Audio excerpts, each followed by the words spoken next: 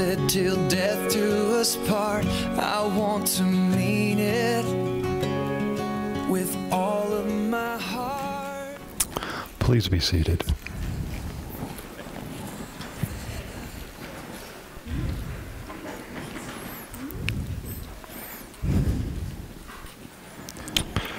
We are gathered here in the sight of God and in the presence of this company to join together this man and this woman in the sacred estate of matrimony. But why in a church? The bride and groom have chosen to begin their home in God's house as a symbol of their desire to have Him in theirs. Why do they want God to be a part of their marriage and to be in their home? Well, I'm answering for them, all right? It's because marriage is not easy. Isn't that true? And it's not easy because of the kind of people that we naturally are. Jeremiah 17:9 says, speaking of man's condition after the fall, the heart is deceitful above all things and desperately wicked. Who can know it? And so, apart from Jesus Christ, we are selfish. Apart from Jesus Christ, we are proud, we are arrogant, we're haughty, and we're hot tempered. But there is a promise in the Bible. In Ezekiel 36 26, this wonderful promise is given to those who come to Jesus I will give you a new heart, and I will put a new spirit within you. I will take the heart of stone out of your flesh, and I will give you a heart of flesh. Can you imagine with me an old wagon wheel? Got it pictured clearly in mind? Think of the spokes of that wagon wheel. As one moves towards the center of the wagon wheel, that is the hub, from either spoke, or on any spoke rather, one gets closer to one another. So if that hub was to be Jesus Christ, as we as individuals and David and Janet as you as individuals, as you come closer to Jesus, you will become closer to one another. There is much to be said for communication. There is much to be said for spending time with one another. But in the end, all of this is fruitless. And I know this from experience, having counseled many married couples who are in distress. In the end, all these things are important, but the, the most important thing is having Jesus in our hearts. Romans 12:1 tells us, I beseech you therefore, brethren, by the mercies of God, that you present your bodies as a living sacrifice, holy and acceptable unto God, which is your reasonable service. And be not conformed to this world, but be ye transformed. David, that's what you need. and Janet, that's what you need. And not because you're different than anybody else, because we all need that renewing power. And the important thing to understand is that we need this renewing power on a daily basis. It's not a once and over sort of thing. But in 1 Corinthians 3:18 it kind of gives us the secret but we all, with open face, beholding as in a glass the glory of the Lord, are changed into the same image from glory to glory, even by the Spirit of God. And so, David and Jan, we have two little secrets here. One is we are changed by beholding Jesus Christ.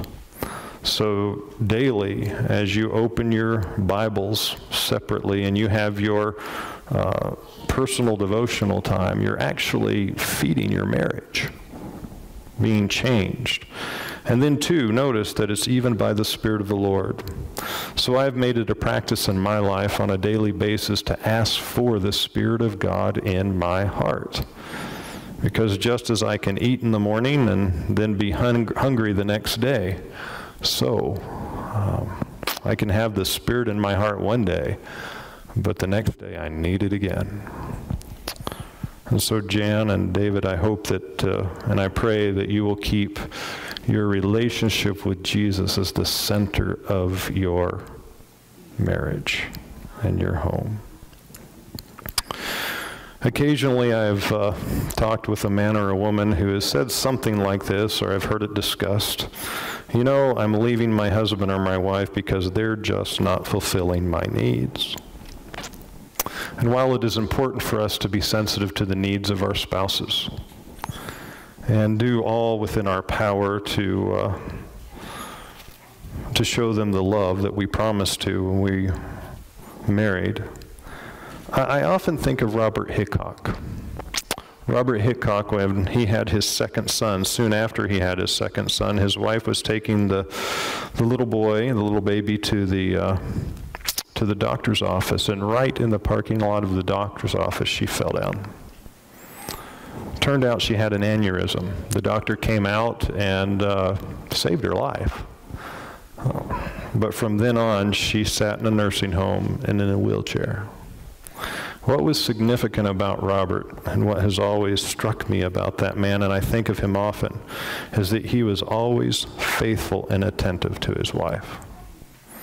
He would go and get her and bring her home for visits from the nursing home. He would bring her to church quite often.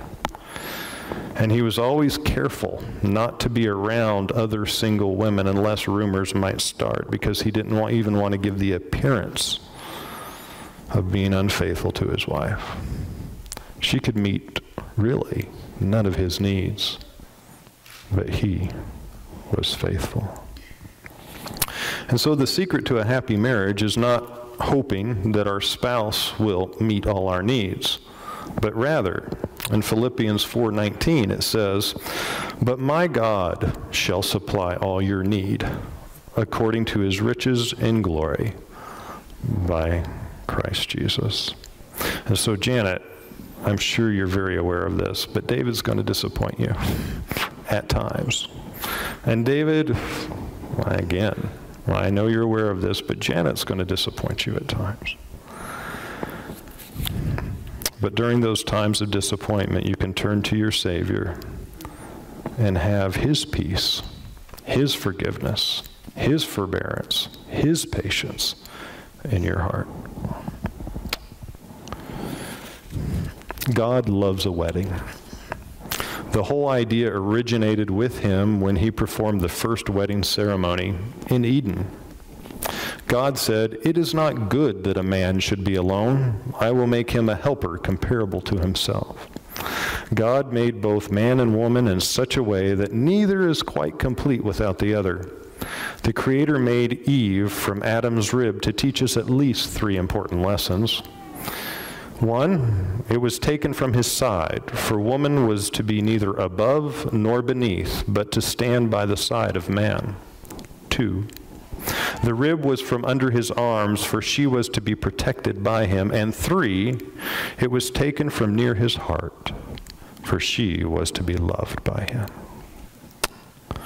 Thus it was that Jesus quoted, for this reason, a man shall leave his father and mother and be joined to his wife, and the two shall become one flesh. And to this holy estate, these two persons, here pres- present, come now to be joined. Now, as the bride and groom join hands, I'd like to invite the husbands and wives in the audience to join hands also and to renew their vows as the bride and groom exchange theirs.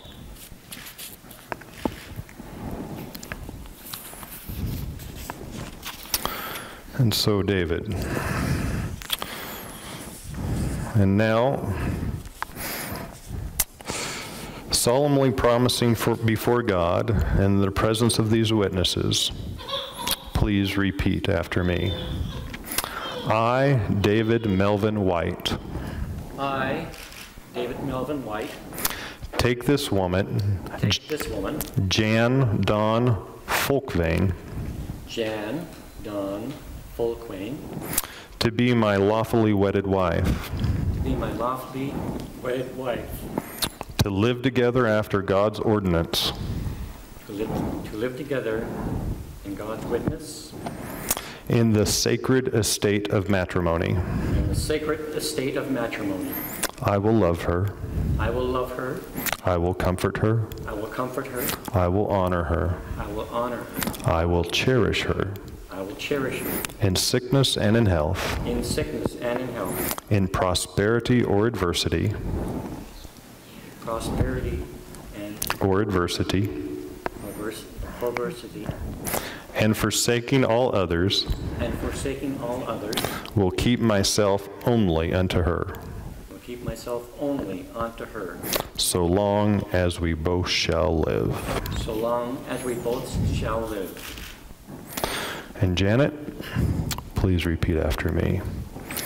I, Janet Dawn Folkvane, I, Janet Dawn Folkvane, will take this man, David Melvin White, will take this man, David Melvin White, to be my lawfully wedded husband, to be my lawfully wedded husband, to live together after God's ordinance. To live together after God's ordinance, in the sacred estate of matrimony. the sacred state of matrimony.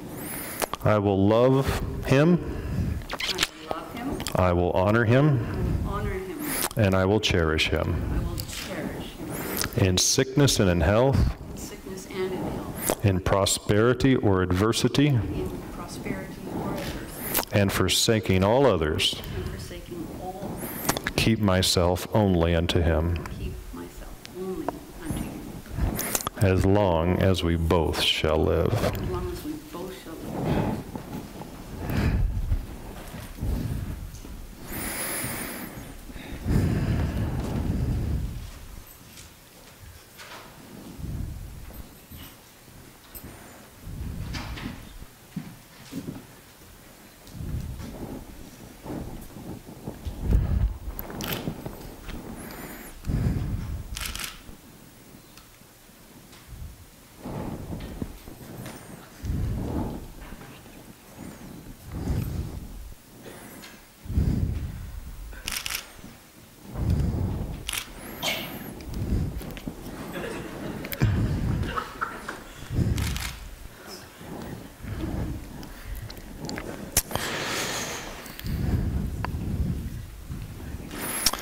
Forasmuch as much as David Melvin White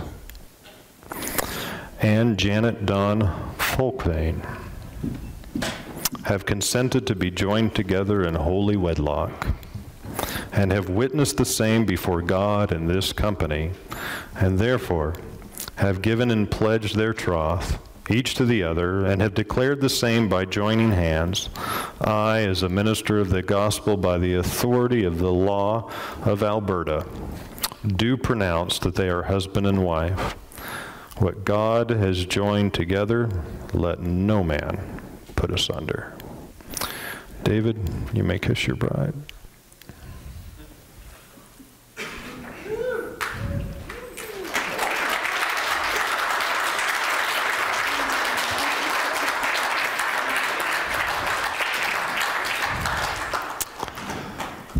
Let us pray.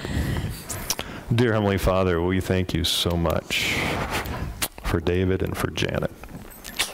We thank you for bringing them together in this uh, lonely old world to find uh, comfort and companionship and the warmth of each other.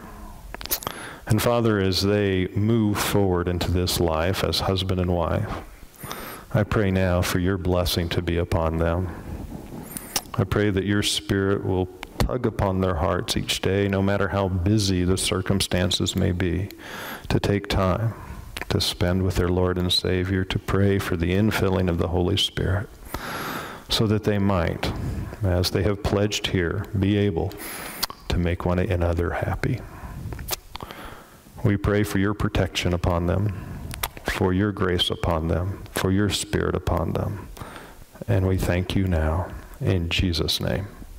Amen.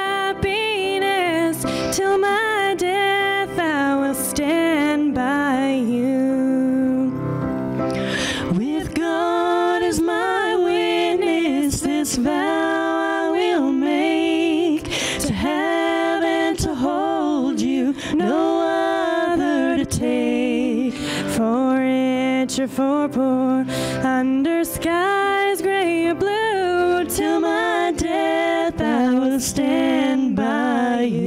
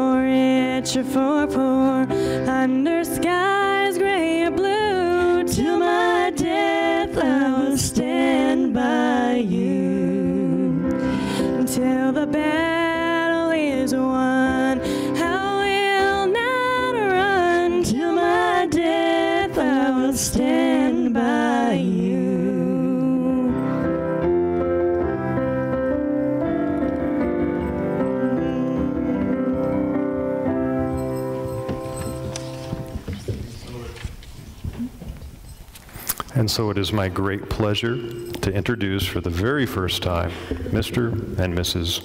David White.